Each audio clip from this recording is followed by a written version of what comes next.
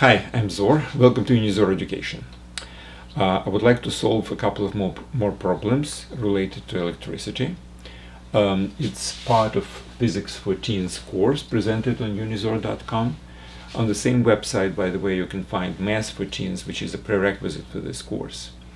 Uh, something like calculus or vector algebra you must actually know uh, before getting any serious about physics. Alright, so the problems today, um, um, there are some tricks, which probably that's exactly why I chose these problems. It's not that trivial. It's not just a plain application of the Ohm's law. So, um, we have three prob problems. Now, the first problem is actually, it is a direct application of uh, Ohm's law. So, if you have a parallel connection of two different resistors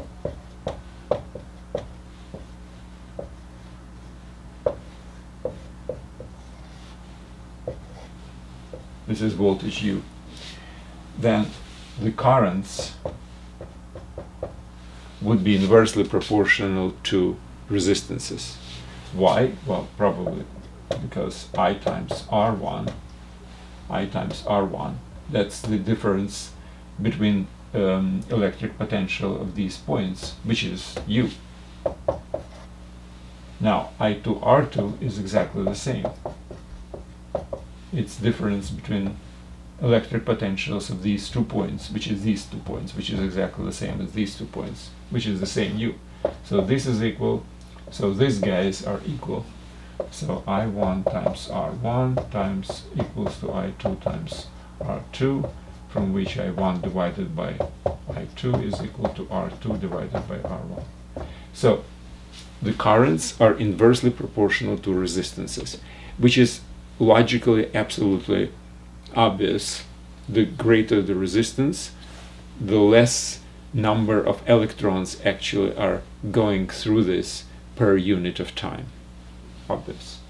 Okay, this is easy. The second one has a little trick and the third one also. So the second one is the following.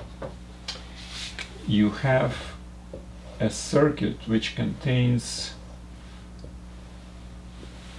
uh, all these are resistors. Well, I can put something like this, if you wish, on each one of them.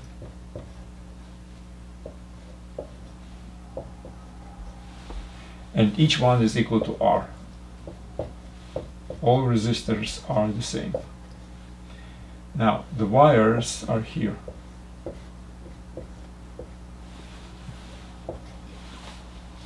So, what I need is resistance of an entire circuit. So basically what kind of a current goes along the common wires.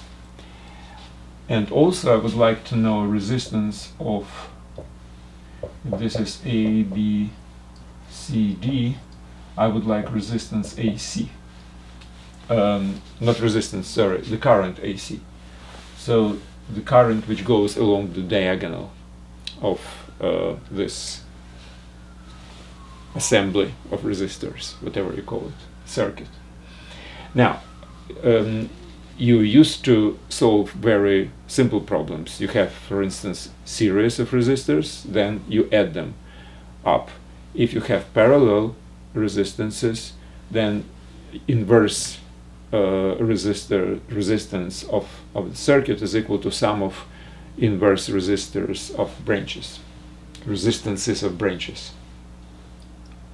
But this is not like that. That's not exactly serial, not exactly parallel. You don't really know how to deal with this. However,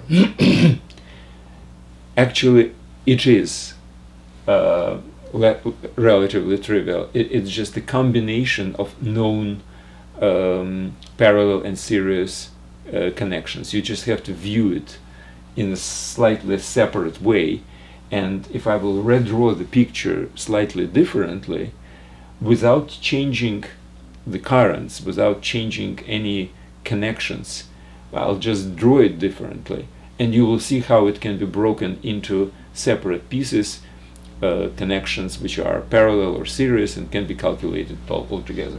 Okay, so here's how I'm going to do it. Let's start from the point A. From point A, I have three branches. So let's put three branches.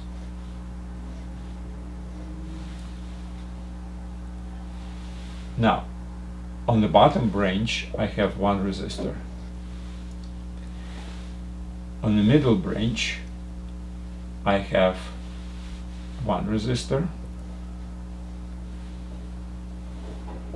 to point C, right? This goes to point G. And I also have the third branch on the top, which has two in the series, which is easy which, which also go to C. So what I missed so far is from C to D I have a resistor here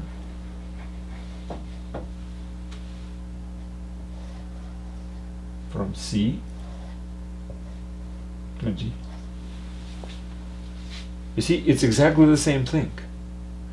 You have between A and C you have these two resistors R and R then you have the diagonal R from the diagonal to point D I have I stretched it this way but it's still exactly the same thing this and this go to point D and D is my source of electricity now as you see it's much better it's exactly the same, but you view differently, and now it's obvious how to do it. Well, first of all, you replace these two with one.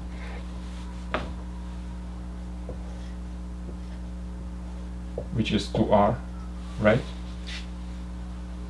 Now, what happens here? Well, now this part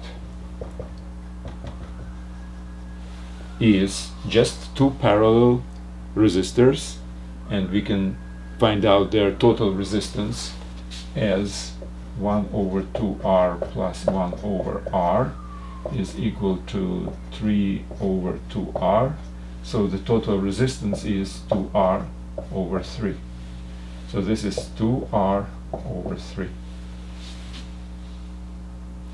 now you have 2r over 3 and this one in series so you have to add them together which is uh, 5r over 3. And now you have this 5r over 3 on the top branch and r on the bottom branch. How to uh, add them together? Well, that's you add inverse, so 1 over r plus 3 over 5r, which is equal to 8 over 5r. So the total resistance is 5R over 8.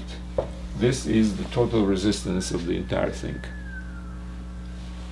Well, if you know the um, the voltage of, uh, of the source of electricity, obviously the current I is equal to U divided by 5R8. So that's my uh, current in the common area, in the common wire. Well, but I'm interested in diagonal, which is this one. Well, I know the resistance, so I need to know the difference in potential between A and C. Okay? Now, how can I do it? Well, the easiest way is I know the, the um, difference in uh, electric potential between A and D, right? Which is U. So from A to D, I have one resistor which is 2R over 3 and another which is R. So the voltage drops first by this and then by this. So first I can determine what's my current in the common area, in the common wire. The common wire is this one. This one. So what's the common wire here? Well, if the total resistance is 2R over 3 plus R, which is 5R over 3, my I uh, in the common, let's call it I1, is equal to U over 5R over 3. So this is the current which is coming here and here. Now if I have the current I can find out the uh, drop of the voltage between A and and C. Well, my resistance is um, 2R over 3. My current is this one in the common area which comes. So my voltage drop delta U would be equal to my I1 times 2R over 3 which is 2U over 5R. So that's the voltage drop from here to here. Uh, no, I don't need R anymore. R cancels, 3 cancels, so I have 2 fifths. So I have 2 fifths of U, and I have the resistance, resistance R, so between this and this, the voltage drops by this, and I have the resistance, so it's 2 U over 5 divided by resistance, that's my IAC.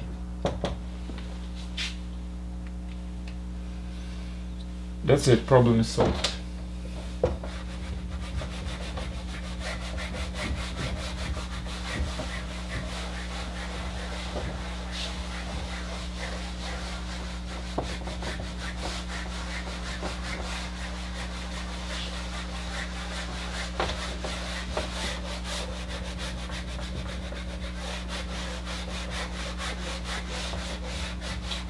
Okay, and the third one also with a little trick, but again it depends on how you view the whole thing. You have a cube made of resistors.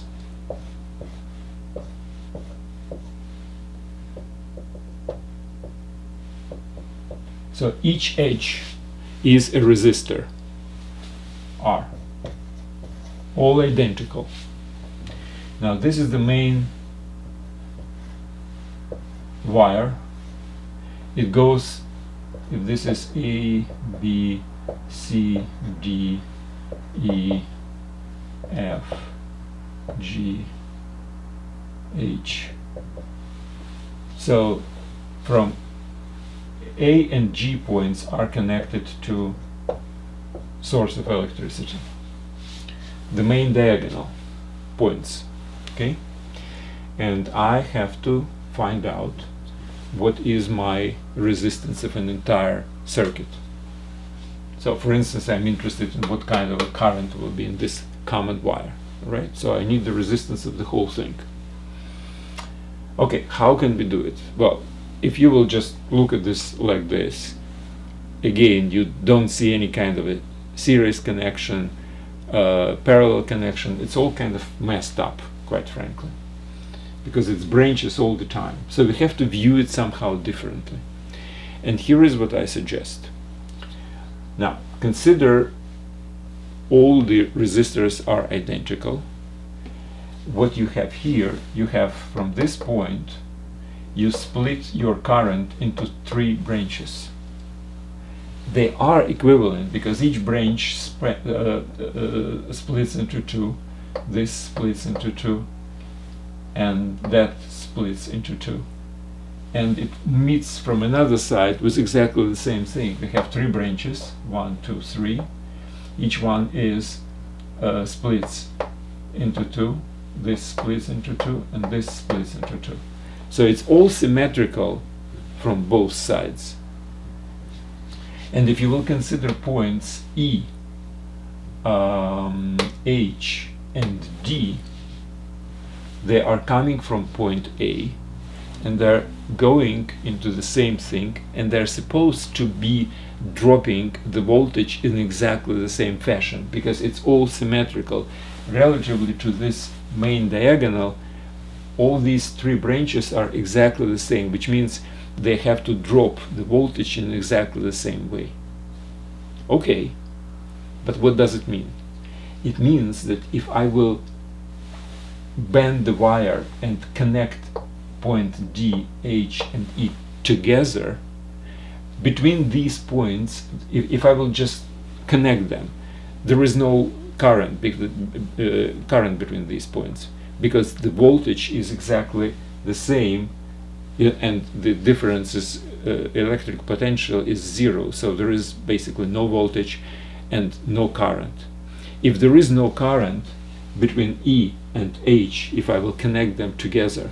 So let me just again bend the wire and what happens?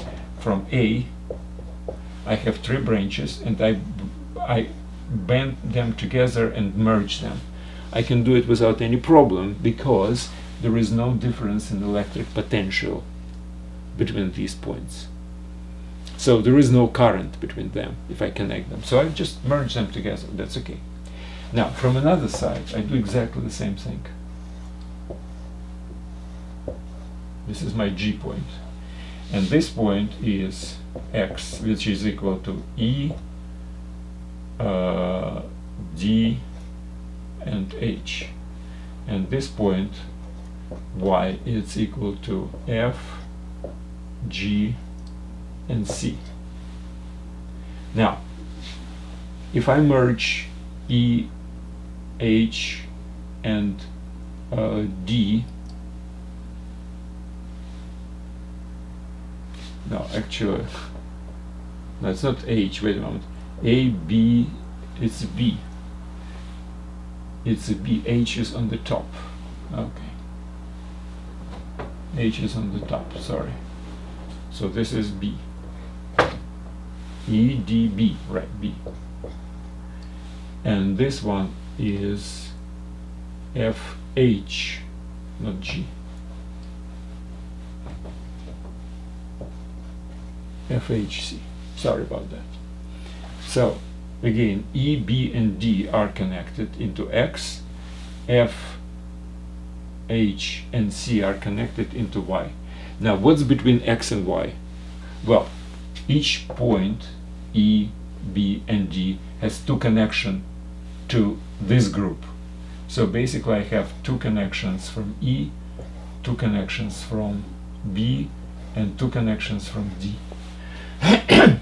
now, each line is a resistor which has a resistance R.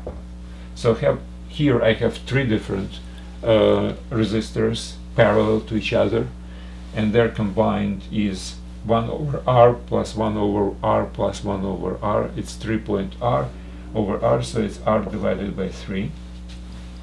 This is the total resistance of this.